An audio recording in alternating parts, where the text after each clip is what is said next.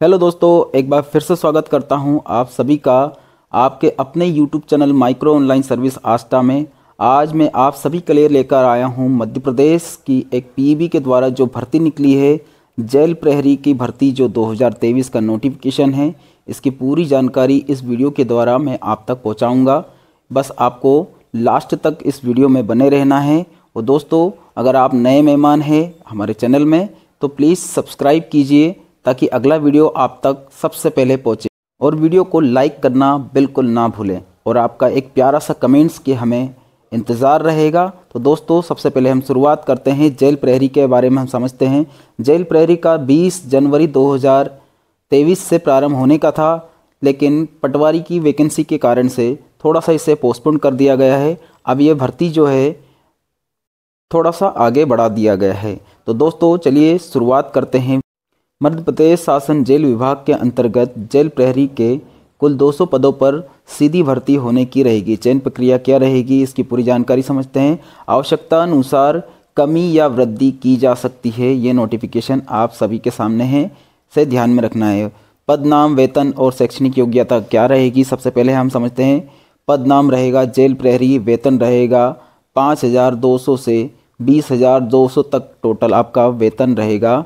उन्नीस सौ रुपये ग्रेड पे अलग से दिया जाएगा। यहाँ पर हम समझते हैं पूरी जानकारी। दोस्तों, वीडियो को लास्ट तक देखेंगे तो सारी बात समझ में आएगी। अंक तालिका के द्वारा क्या क्या पोस्ट कहाँ कहाँ पर कितनी कितनी कौन कौन सी कैटेगरी में रहेगी? टोटल 200 पोस्ट दी गई है। इसमें आप देखेंगे तो रिक्त पदों की पूरी जानकारी यहाँ पर दी गई है। अनारक्षित में सड़सठ पोस्ट हैं। ईडब्ल्यूएस में सात, अनुसूचित जाति में बत्तीस रहेगी। अनुसूचित जनजाति के लिए चालीस पोस्ट हैं। और अन्य पिछड़ा वर्ग के लिए चौवन पोस्ट टोटल 200 पोस्ट इसमें रखी गई है। इसके बाद में अगली जानकारी। एजुकेशन के बारे में समझते हैं एजुकेशन क्या रहेगा?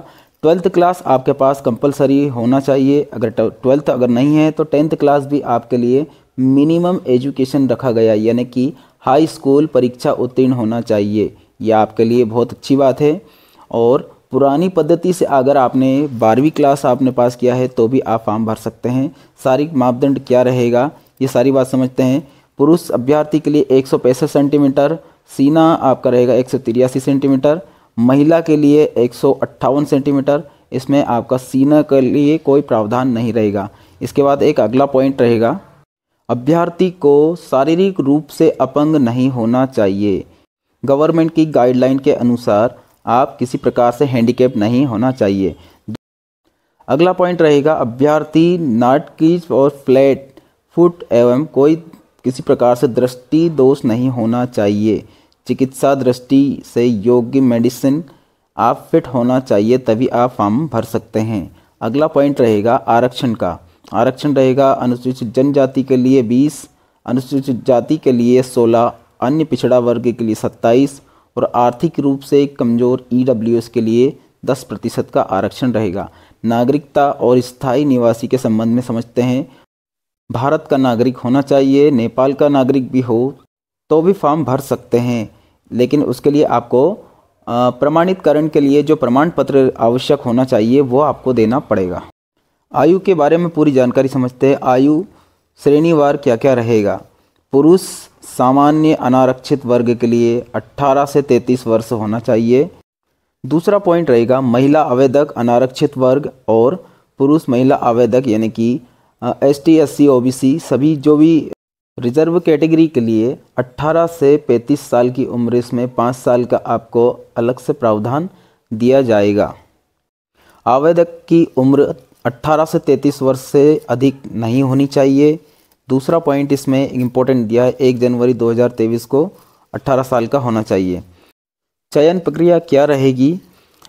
पर स्वरूप धारण करके किसी कोई व्यक्ति दूसरे व्यक्ति को बोलता है कि आप आप हमारी एग्ज़ाम दे दीजिए, ऐसी कंडीशन में व्यक्ति, यानी कि आवेदक गलत साबित होगा, आपकी एग्ज़ाम को निरस्त कर दी जाएगी। कोई भी उम्मीदवार जिनकी दो या दो से अधिक संतान हो, और 26 जनवरी 2001 का जन्म हो बच्चे का तो भी आपका फार्म निरस्त ही माना जाएगा। अगला पॉइंट रहेगा कोई भी उम्मीदवार जिसे न्यायालय द्वारा अपराधी घोषित किया हो, फॉर्म नहीं भर सकता।